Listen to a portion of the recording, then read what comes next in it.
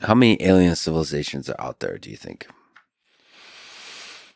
Well, the universe is very big, so some, but not as many as most people would like to think, is my view, because the idea that that there is a trajectory going from simple simple cellular life like bacteria all the way through to humans.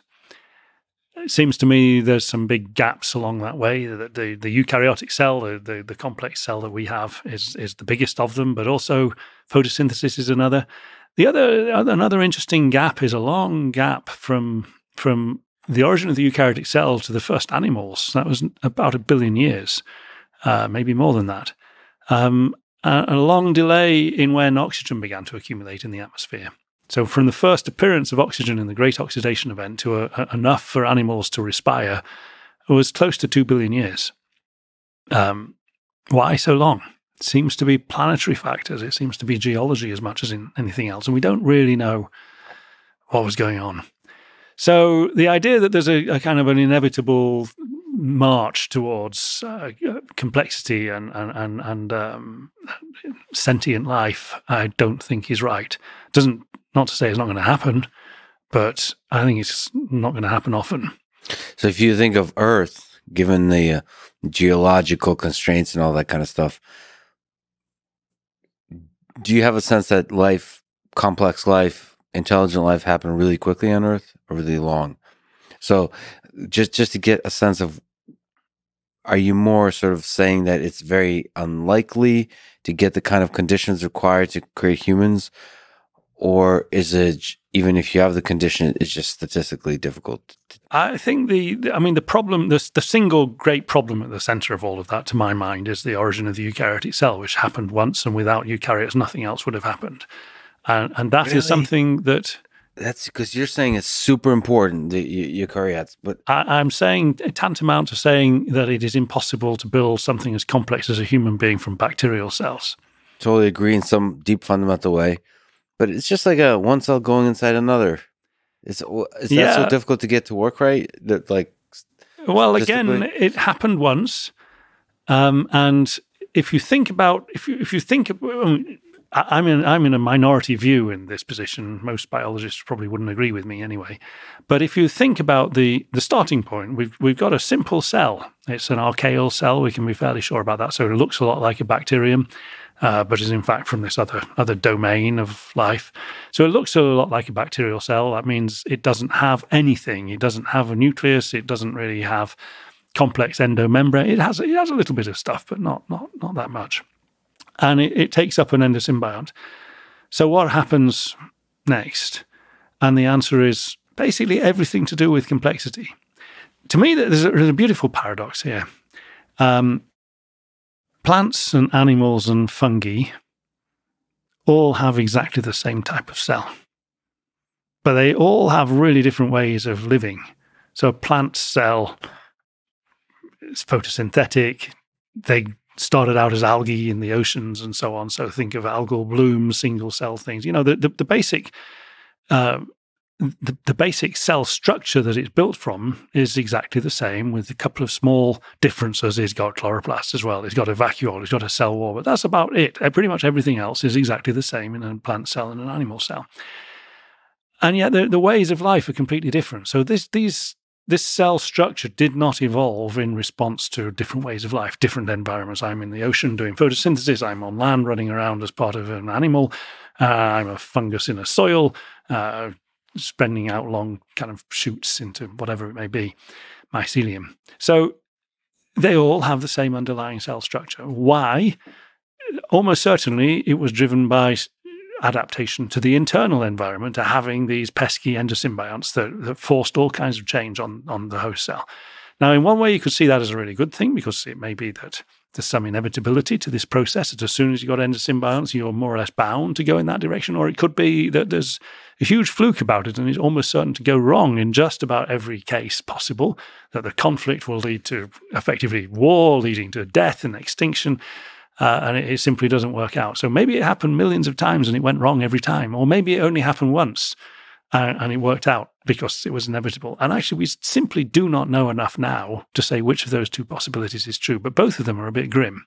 But you're you're leaning towards we just got really lucky in that one leap.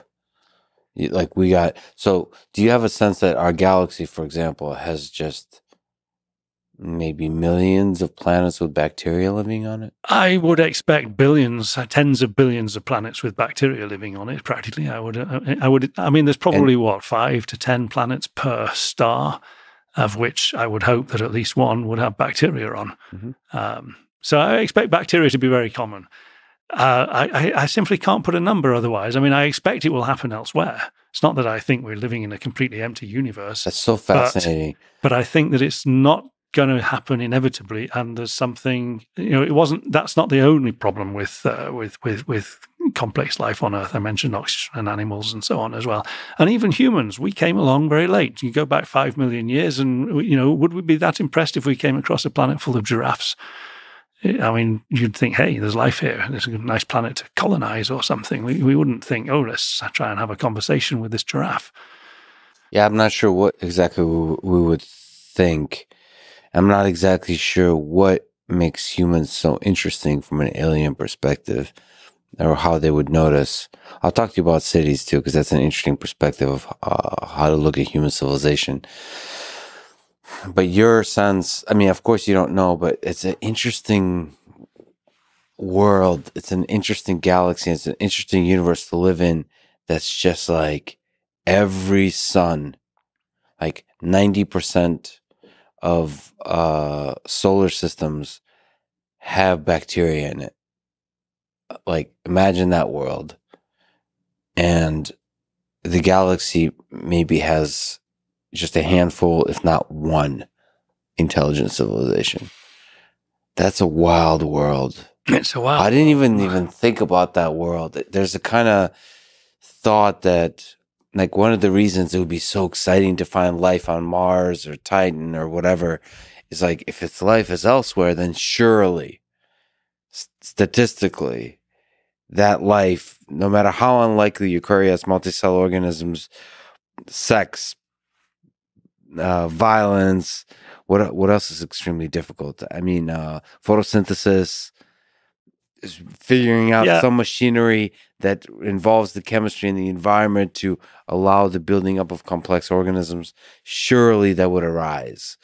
But man, I don't know how I would feel about just bacteria everywhere. Well, it would be depressing if it was true. I suppose depressing. I don't think potential. I don't, I don't know what's more depressing: bacteria everywhere, nothing everywhere. Yes, either of them are chilling. Yeah. But uh, whether it's chilling or not, I don't think should force us to change our view about whether it's real or not. Uh, yes, and yeah. what I'm saying may or may not be true. So, how would you feel if we discovered life on Mars? I'd so, you, it sounds like you would be less excited than some others um, because you're like, well. What I would be most interested in is how similar to life on Earth it would be. It would actually mm-hmm. turn into quite a subtle problem because the the likelihood of life having gone to and fro between between Mars and the Earth is oh, right. is is quite I wouldn't say high, but it's not low. It's it's quite feasible. Uh, and so, if we found life on Mars and it had very similar genetic code, but it was slightly different, most people would interpret that immediately as evidence that there'd been transit one way or the other, and that it was a it was a common origin of life on Mars or on the Earth, and it went one way or the other way. Yeah. The other way to see that question, though, would be to say, well, actually, the whole, the whole beginnings of life lie in deterministic chemistry and thermodynamics, starting with the most likely abundant materials, CO two and water, and, and, a, and a wet rocky planet, and Mars was wet and rocky at the beginning uh, and will, I won't say inevitably, but potentially almost inevitably come up with a genetic code which is not very far away from the genetic code that we already have. So we see subtle differences in the genetic code. What does it mean? It could be very difficult to interpret. Is it possible, do you think, to tell the difference of something that truly originated? Uh, I think if the stereochemistry was different, we have sugars, for example, that are the L form or the D form, and and, and um, we have uh, D sugars and L amino acids right across all of life. But lipids, uh, we have the bacteria have one one stereoisomer, and and the bacteria have the other, the opposite stereoisomer.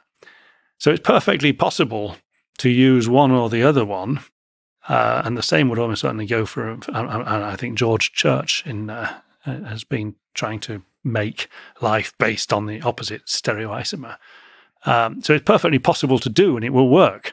Um, and if we were to find life on Mars that was using the opposite stereoisomer, that would be unequivocal evidence that uh, life had started in- independently there. So hopefully, the life we find will be on Titan and Europa or something like that, where it's less likely that we shared and it's harsher conditions, so there's going to be weirder kind of life. I wouldn't count on that because Water. life started in deep sea hydrothermal vents. It's a here. harsh. That's pretty harsh, yeah. Uh, so Titan is different. Europa is probably quite similar to Earth in the yeah. sense that we're dealing with an ocean. It's an acidic ocean there, um, as the early Earth would have been. And it almost certainly has hydrothermal systems. Same with Enceladus. We can tell that from these plumes coming from the, the surface through the ice. We know there's a liquid ocean and we, we, we can tell roughly what the chemistry is. For Titan, we're dealing with liquid methane and things like that. So that would really, if there really is life there, it would really have to be very, very different to anything uh, that we know on Earth.